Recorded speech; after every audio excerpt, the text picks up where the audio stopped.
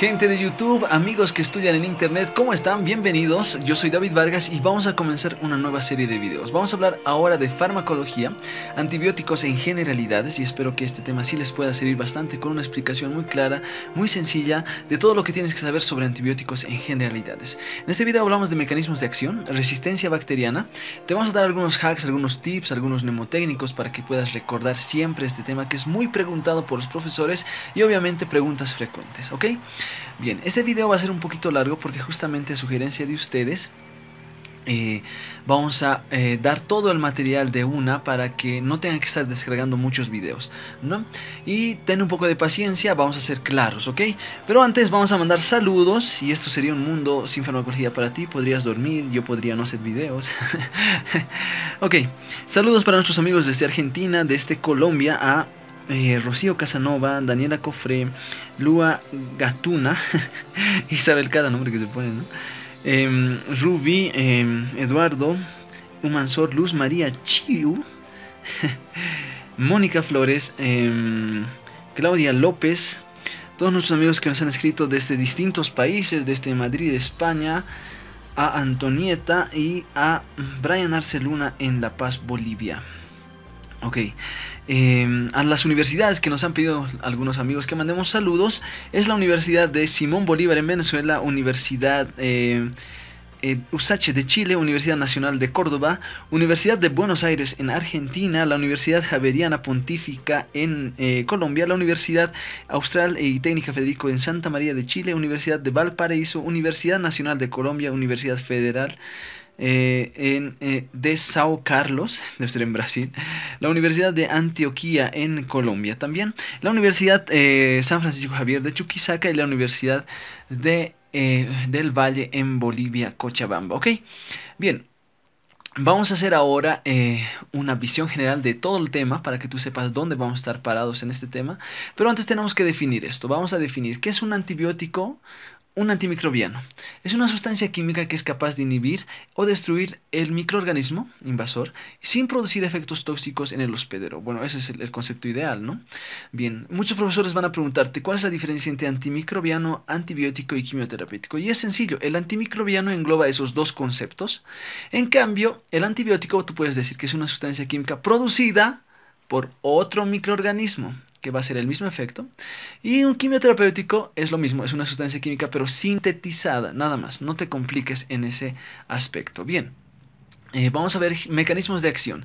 Y tienes que recordarte que cinco son los mecanismos de acción, aquellos que inhiben la pared, la membrana, la síntesis proteica, ácidos, eh, la, interferencia de ácidos nucleicos y de metabolitos.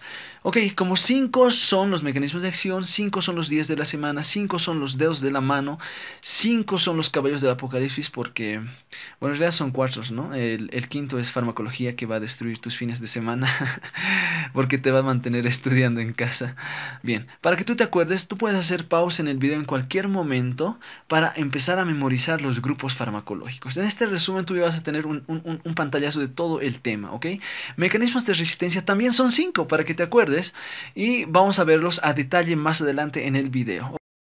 Ok, mecanismos de acción. Entonces, en los mecanismos de acción vamos a hablar de cinco aspectos importantes donde los fármacos, los antibióticos pueden actuar. Si tenemos que recordar primero que la bacteria tiene una membrana celular, una, un segmento intracelular, el citoplasma, una zona nucleoide donde va a estar su material genético y los ribosomas que van a producir eh, las proteínas. Lo que llama la atención en las células procariotas, las bacterias, es que tienen bastante eh, grueso por fuera una pared celular. La pared celular tiene eh, la función más importante de las bacterias de protección, porque dentro de las bacterias, fíjense, tenemos un medio hiperosmótico, en las gram positivas puede llegar hasta 20 atmósferas, en cambio en las gram negativas solamente 5 atmósferas. ¿Qué es lo que sucede aquí? Si es que esta bacteria tiene un medio tan hiperosmótico dentro, cuando tú logres dañar la síntesis de pared, va a hacer que esta pared sea deficiente, tenga algo así como perforaciones. Entonces finalmente todo el medio extracelular puede meterse dentro de la bacteria y hacer que la bacteria explote. Y si explota, puedes matar a la bacteria. Por lo tanto, todos aquellos fármacos que inhiben la síntesis de pared son fármacos bactericidas. Nunca te olvides eso, ¿ok? Bien. En la formación de pared tenemos estos cuatro pasos. Eh, lo que es importante es lo siguiente. Yo voy a tener fuera de la bacteria el péptido glicano, también llamado mureína, que se caracteriza por la unión de subunidades, la N-acetilmuramina y la N-acetilglucosamina. Estas tienen que unirse por transpeptidación, por eso la última fase se llama transpeptidación. Pero para yo tener estas subunidades tengo que producirlas primero, entonces tengo que producirlas dentro de la bacteria. Si tú te das cuenta, el medio extracelular es hidrofílico, por lo tanto estas subunidades son hidrofílicas. Y por dentro también es hidrofílico. Y estas subunidades al formarse, pues eh, van a tener, por ejemplo, la fosforilación de UDP, la unión de la D-alanina en la, en la en estilmuramina, y son sitios, son blancos donde yo puedo utilizar antibióticos. Fíjate, puedo utilizar la fosfomicina para evitar la, la fosforilización y la ciclocinina para evitar la unión de la D-alanina. Entonces puedo evitar que los precursores se formen y por lo tanto inhibir la pared, inhibir la síntesis de pared.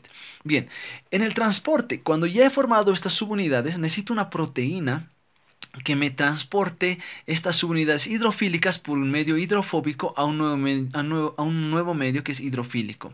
Y esta proteína, la C55, que es una transportadora, pues puede también ser bloqueada. Si utilizo la basitracina y al utilizar la basitracina voy a hacer que este transportador no pueda retornar nuevamente a la bacteria para mm, traer subunidades afuera de la bacteria. Entonces inhibo el transporte.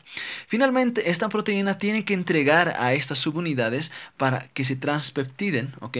Entonces, al, al, entregar, puedo bloquear esta formación y evitar que estas subunidades sean entregadas para finalmente el último complejo de transpeptidación. Y este bloqueo está dado por la vancomicina. Siempre tienes que recordar eso porque vamos a hablar bastante de este fármaco. Es un glucopéptido, ¿ok? Bien, finalmente la transpeptidación, fíjate, tenemos una enzima, una transpeptidasa, como se conoce, que va a hacer unir estas dos subunidades, la anestilmuramina, anestilglucosamina, y formar finalmente la mureína, el péptido glicano puedo bloquear esta enzima. ¿sí? Gracias a que hay unos sitios de unión, unos sitios aceptores eh, donde puedo unir las penicilinas, porque a este grupo pertenecen ellos. Los beta-lactámicos, las penicilinas, las cefalosporinas, los carbapenemes y los monobactámicos, que son justamente grupos farmacológicos que van a inhibir la transpeptidación. Entonces, en resumen, tenemos aquellos grupos farmacológicos que van a bloquearnos la transpeptidación y todos aquellos que van a bloquear los precursores, o sea, que nos van a inhibir a los precursores. Ahora veamos aquellos fármacos que van a inhibir la alteración eh, de la función de la membrana. Recordemos que la membrana en las bacterias tiene funciones importantes desde integridad, de transporte de sustancias, incluso el ciclo de energía, porque ellos no tienen mitocondria, el ciclo de Enden-Meyer-Hop se produce en la membrana. Si tú dañas la membrana, también puedes dañar a la bacteria y por lo tanto terminar con su vida. Tienes que recordarte lo siguiente, que tenemos una bicapa fosfolipídica y justamente para dañar a los fosfolípidos y actuar como un detergente ingresan las polimixinas. También pueden dañar em, esta parte de la membrana los poliénicos que no vamos a ver ahora, los ácidos poliénicos.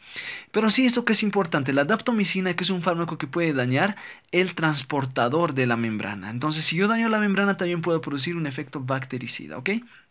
Bien, vamos al efecto eh, de, la inhibición de la síntesis de proteína. Nosotros tenemos que recordar que para eh, la síntesis proteica tenemos lo siguiente, una cadena de ARN mensajero y la síntesis proteica que van a tener tres fases, una iniciación, una elongación y una terminación. Algo antes de continuar tienes que recordarte que estos fármacos, a diferencia de estos que eran bactericidas, van a inhibir el crecimiento bacteriano, por lo tanto son por excelencia fármacos bacteriostáticos, aquellos que inhiben el crecimiento crecimiento bacteriano, ¿ok?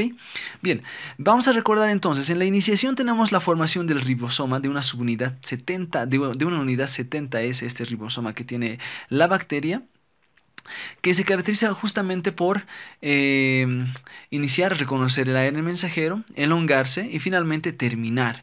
Y la elongación va a tener además tres subprocesos para que te acuerdes. Un sitio de aceptor de ARN de transferencia. Tú tienes que recordarte que el ARN mensajero va a llevar el codón y el anticodón el ARN de transferencia que va a llevar en su segmento distal una, eh, un, un aminoácido. Ya después se van a eh, transpeptidar estos aminoácidos y van a formar, van a ir formando la cadena de proteína. Y finalmente la salida, la translocación de toda esta, de esta subunidad. Entonces tenemos una subunidad grande, una subunidad pequeña. Todos estos puntos que hemos mencionado pueden ser sitios blancos para antibióticos, sí, y tenemos que recordarlos así de esa manera. Más adelante vamos a ver eh, cómo tú puedes memorizar esto, pero ahora tienes que saber el mecanismo de manera general. Fíjate que las tetraciclinas pueden bloquear justamente la subunidad 30S, sobre todo en el inicio del aceptor del ARN de transferencia. Bien, los aminoglucósidos pueden bloquear al ARN mensajero alterando el codón de iniciación o el codón de consecuencia para terminar de leer después el, el, ARN mensajero y también pueden bloquear la subunidad 30S.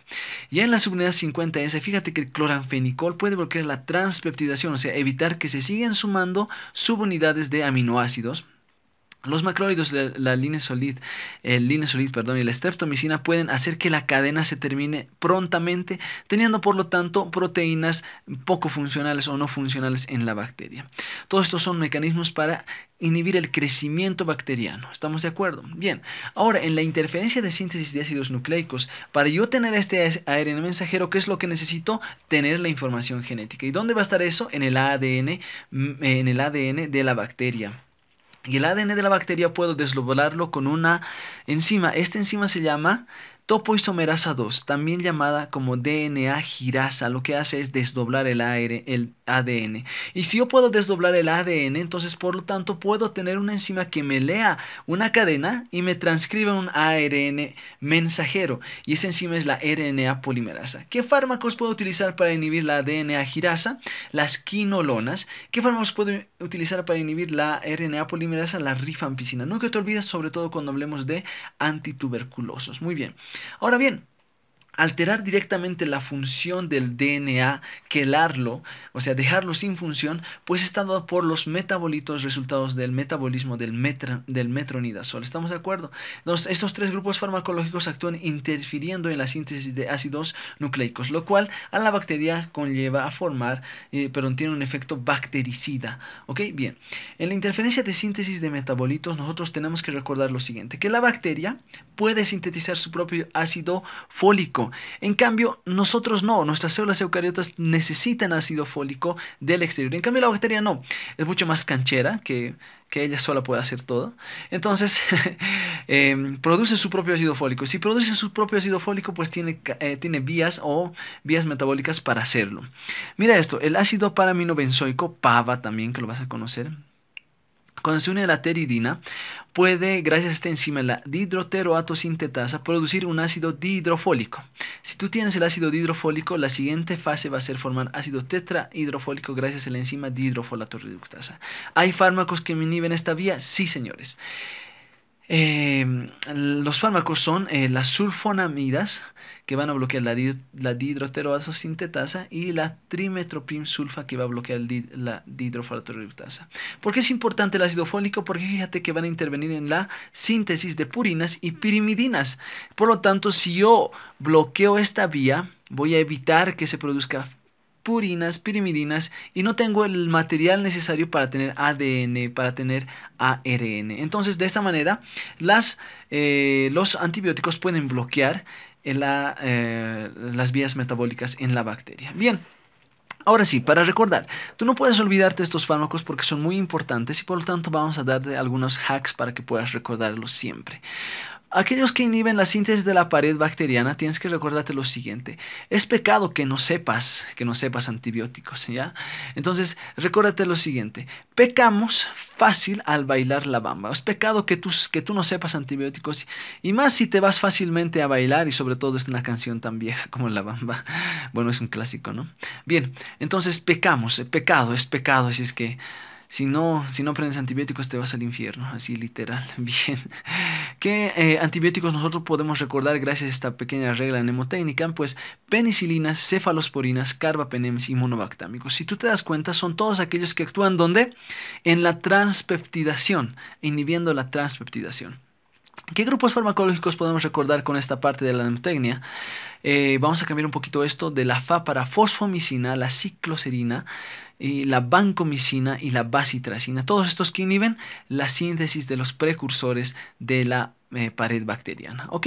Nunca te olvides, trata de recordarlo, haz pausa en el video si quieres para memorizarlo nuevamente. ¿Ok?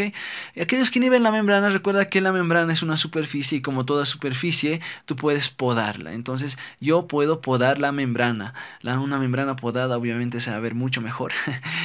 Tienes que recordarte que los fármacos que van a actuar a este nivel son las polimixinas y la daptomicina. Nunca lo olvides. Bien, aquellos que viven la síntesis de proteínas, tienes que recordarte lo siguiente, que un clima adecuado, un clima donde eh, eh, que te guste mucho a ti, como dice mi amigo Brian Arce, el clima lluvioso es el mejor del mundo. Entonces, un clima adecuado es un clima que te trae paz, que no te trae estrés. Entonces, sin estrés, clima te amo. ¿Ya? Eh, tú puedes recordarte los grupos farmacológicos que van a formar parte de este, de, esta, de este grupo importante de la inhibición de síntesis de proteínas. ¿Cuáles son? Estrés para estreptogranminas, cloranfenicol, lincosamidas, linesolid y macrólidos, las tetraciclinas y los aminoglucósidos. Ahora bien, suele ser pregunta de examen siempre. ¿Cuáles son aquellos que bloquean la subunidad 50S y cuáles son aquellos que van a bloquear la subunidad 30S? Y para que tú te acuerdes lo siguiente, macro viene de grande. Por lo tanto, todo lo que esté arriba de la nemotecnia, en macro, arriba de macro, son fármacos que van a bloquear la subunidad grande. Ya habíamos visto en qué lugares específicamente, ¿no? Y tetraciclina suena a 30 ciclinas, entonces son aquellos fármacos junto con los aminoglucósidos que van a bloquear la subunidad 30S. Todos estos son bacteriostáticos. Bien, pero hay una excepción. Los aminoglucósidos en algunos libros ya se mencionan que bloquean las dos subunidades, tanto la 50 y la 30S. Y por lo tanto, si bloquean a los dos amigos, puedes recordarte que su nombre suena a amigoglucósidos y bloquean a las dos subunidades. Además, eh, que estos aminoglucósidos van a tener, aparte de tener un efecto eh, bacteriostático, tener un efecto bactericida. Esa es la excepción, ¿no? Pero bueno, que lo puedas recordar así va a estar perfecto. Ahora, para recordarnos sobre eh, los fármacos que van a actuar en la interferencia de la síntesis de ácidos nucleicos y aquellos que también van a eh, interferir en la síntesis de metabolitos, vamos a recordarnos la siguiente frase. Y nunca puedes olvidarte con eso, ¿está bien? Tienes que acordarte de Kino, de ese escritor argentino, y también algo de fútbol. Kino y Mary son hinchas o apoyan a su tricolor. Seguro en tu país hay una tricolor, una tri, algún equipo que tenga una tricolor, la tri, lo que sea, y con eso tú puedes recordarte esta parte de los antibióticos. Ok, ¿cómo más o menos quedaría la cosa?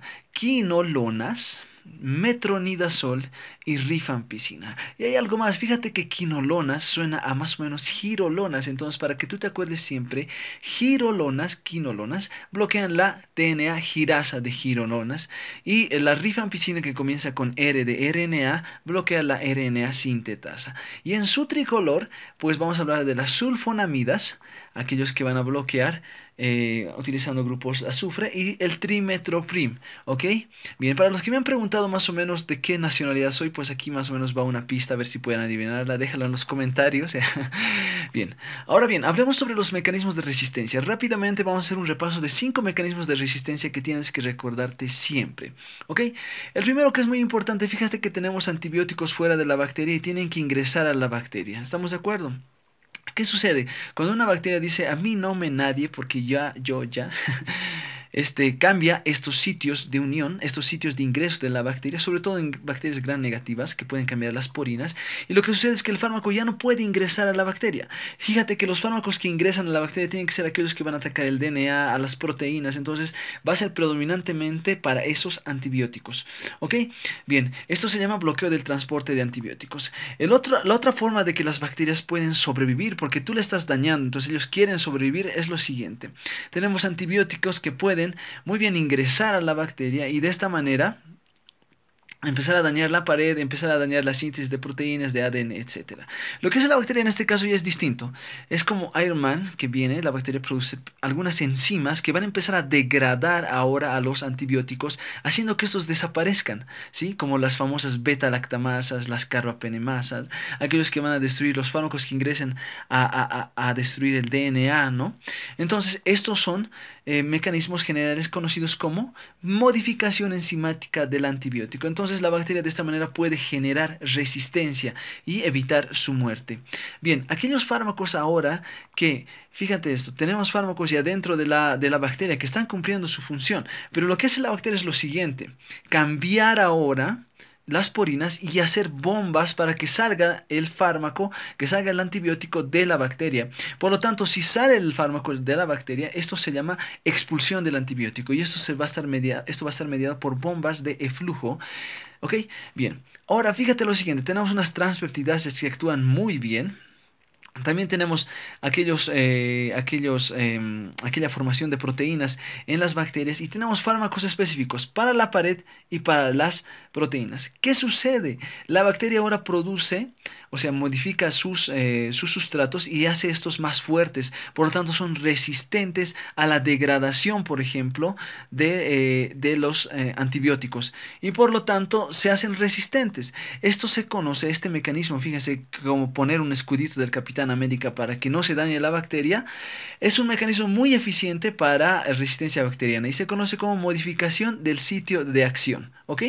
Muy bien. Finalmente, habíamos visto que tenemos vías metabólicas del, antibiótico para producirnos eh, ácido fólico fundamentalmente, y purinas y pirimidinas. ¿Ok? ¿Qué sucede? Estos fármacos actúan bloqueando las enzimas y habíamos visto cuáles, pero ahora, ¿qué hace la bacteria? Hacer, utilizar otras vías metabólicas excluyendo al fármaco de esa vía y por lo tanto seguir produciendo más ácido fólico. En, y esto se conoce como producción de vías alternas. Bien, Aquí están los ejemplos de los fármacos que van a ingresar dentro de estos grupos. Recuérdate siempre, fármacos que no pueden ingresar dentro como los beta-lactámicos, aquellos que, se produce, que producen enzimas para destruirlo como las beta-lactamasas para los beta-lactámicos, aquellos que ingresan a la célula pero son expulsados como las tetraciclinas, los macrólidos, las quinolonas, aquellos fármacos que van a generar digo, aquellos, aquellas enzimas que se van a hacer resistentes porque ya van a cambiar su estructura, ya no van a poder actuar en ese caso las quinolonas, los beta-lactámicos y finalmente los que modifican su sitio de acción, pues eh, las el trimetropima y las sulfas. Ahora esto se puede preguntar como que no también. Entonces te dejo esta imagen para que tú puedas grabarla y memorizarla después, ¿ok? El principio que tienes que recordarte es que si ingresa dentro de la bacteria, entonces puede ser expulsado. Y con eso puedes intentar recordar los grupos farmacológicos. Bien, ahora bien, definiciones, preguntas frecuentes que suelen hacer los profesores de farmacología, ¿ya? Y esto va más o menos resumido para que tú puedas empezar a recordar y a resumir todo el tema. Vamos a ver de efectos bacteriostáticos y bactericidas. Habíamos visto que justamente el efecto bacteriostático son aquellos que van a inhibir el crecimiento bacteriano. Si tú te acuerdas del crecimiento bacteriano, tenemos una fase de adaptación, crecimiento exponencial, una fase de, latencia que va, que va a permanecer el, la bacteria. Y cuando tú bloqueas el crecimiento, no inhibes a la bacteria, pero haces que el sistema inmune ahora pueda actuar mucho mejor y por lo tanto destruir a la bacteria. ¿Estamos de acuerdo? Bactericida es aquel eh, antibiótico que va a destruir, o sea, que va a lisar a la bacteria. Ya habíamos visto alterando sobre todo la pared. Aquí tenemos los ejemplos, fíjense, los que inhiben las proteínas, y aquellos que inhiben la síntesis de pared y de ADN. Eh, ahora, en la interacción, estos fármacos, obviamente tú puedes dar un grupo farmacológico con otro grupo farmacológico, pero a veces no es recomendable dar algunos. Por ejemplo, pueden producirse eh, efectos de antagonismo y otros de sinergismo. ¿Cuáles yo puedo dar? Fíjate, tengo un fármaco A más un fármaco B, ¿qué efecto tendré? En el sinergismo, por ejemplo, voy a tener una mejor respuesta del paciente, una mejor eliminación de agentes eh, por ejemplo, al dar gentamicina con penicilina. En, este tipo de infecciones de streptococcus por ejemplo. Y ahora se van a antagonizar las funciones si es que tú das, por ejemplo, penicilinas más tetraciclina o cloranfenicol con, eh, y aminoglucósidos. Entonces, se pueden, eh, se pueden producir este tipo de interacciones que no van a beneficiar al paciente. Muy bien. Ahora, recuérdate esto siempre, la relación entre farmacocinética y farmacodinámica. Farmacodinamia, perdón. ¿Cuál eh, ¿De qué depende esto? La farmacocinética nos habla de concentraciones dentro del organismo. Vamos a tener aquellos fármacos, aquellos antibióticos que van a depender muy bien de la concentración. ¿Eso qué quiere decir? Que mientras más concentración tú le des al paciente, mejor efecto. O sea, más rápido llegas a la concentración mínima inhibitoria, entonces mejor efecto van a tener. ¿Cuáles fármacos requieren ingresar fácilmente y empezar a hacer este efecto? Los aminoglucósidos y las quinolonas son de concentración dependiente. En cambio, aquellos que van a depender de tiempo son los beta-lactámicos. Mientras tú le des más tiempo a este fármaco en las concentraciones adecuadas, vas a tener entonces un mejor efecto de este antibiótico. ¿Ok? Situaciones especiales, las embarazadas. En las embarazadas nunca, recuérdate, nunca quinolonas, tetraciclinas, eritromicina y metronidazol. Jamás. ¿Ok? Ok, ahora, ¿cómo tú puedes aprender esto y recordarte? Es sencillo, fíjate. Bacteriostático inhiben la síntesis de proteínas y metabolitos. Bactericidas inhiben la pared y el DNA. Y ya te puedes ir recordando los grupos farmacológicos según las mnemotécnicas que te hemos dado. Bien, aquellos que son dependientes de concentración son aquellos que dañan el DNA y los aminoglucósidos. Y finalmente de tiempo, son aquellos que tienen que acumularse en el tiempo para, eh, eh, para seguir destruyendo la bacteria. Y los que dañan la pared, porque la pared se va a seguir sintetizando todo el tiempo. Y los que van a inhibir a las proteínas, porque las proteínas igual requieren sintetizarse todo el tiempo. Y puedes recordarte de esta manera estos grupos farmacológicos. Y finalmente, eh, en embarazadas, recuérdate, Siempre prefiero beta-lactámicos. Si veo una gordita, tengo que verla con una B de beta-lactámicos, ¿ok? Y finalmente, para terminar ya eh, estas definiciones, tienes que saber el espectro de acción antimicrobiano. Este tema lo vamos a detallar más adelante en cada video para cada grupo farmacológico, pero tienes que tener una idea general porque siempre te van a preguntar qué es un espectro de acción antimicrobiano, cuáles tienen amplio espectro, cuáles tienen espectro reducido. Y para eso tienes que recordarte esto, que lamentablemente se va a hacer muy largo y pero vamos a Vamos a verlo en otro video, pero tienes que tener la idea de que vamos a hablar de bacterias gran positivas, gran negativas, y dentro de estos grupos vamos a poder hablar de pseudomonas, por ejemplo, de algunos que son anaerobios. Entonces son grupos farmacológicos claros que tenemos que actuar, donde tenemos que actuar. Para que siempre te acuerdes esto, tienes que verlo de la siguiente manera. Vamos a ver eh, bacterias, por ejemplo, que son gran positivas, algunas que son eh, eh, gran negativas, algunas que son pseudomonas, algunas que son resistentes a fármacos y de esto sale el espectro antimicrobiano, de grupos de bacterias en las que los fármacos pueden actuar. Esto generalmente no está muy, muy específico en los libros o está detallado casi de corrido, entonces pon mucha atención. Fíjate lo siguiente. Vamos a tener gran positivos, ya que es un grupo de bacterias, donde puedo actuar con un grupo de medicamentos. Aquellos que son anaerobios también puedo actuar con un grupo de medicamentos. Y aquellos que son gran negativos también. Entonces, fíjate, estos son grupos de bacterias ya para los que puedo actuar. Entonces, si yo tengo un fármaco que me actúe en gran positivos y en gran negativos, pero también en pseudomonas, va subiendo el espectro antimicrobiano. Pues, pero si solo me actúa, por ejemplo, en un grupo que se llama meticilino resistente, estafilococo aureus meticilino resistente, pues el espectro es muy reducido. Espero que se entienda. Vamos a ver con el siguiente ejemplo. Aquellos que son, por ejemplo, espectro reducido serán simplemente que van a actuar uno por uno, van a ir, atacando solo a, uno, a un grupo de, bacterias y va a ser muy específico para ese grupo. ¿Ok? Bien. En cambio, aquellos que son como Ironman, que em, pues evidentemente pueden atacar más porque tienen más cosas para atacar pueden ser, por ejemplo, atacar a gran positivos, gran negativos y también pseudomonas y su espectro ya va modificándose, por lo tanto serán un espectro intermedio. Y finalmente, si tú vas a poder atacar a gran positivos, gran negativos, pseudomonas, pero también anaerobios y atípicos, te das cuenta el espectro de acción es increíblemente grande. Va a haber fármacos que van a actuar en ese grupo de eh, microorganismos y eso se conocen como de amplio espectro, de amplio espectro. Y el ejemplo más claro es el poderosísimo titán loco que puede con un chasquido destruir más de la mitad del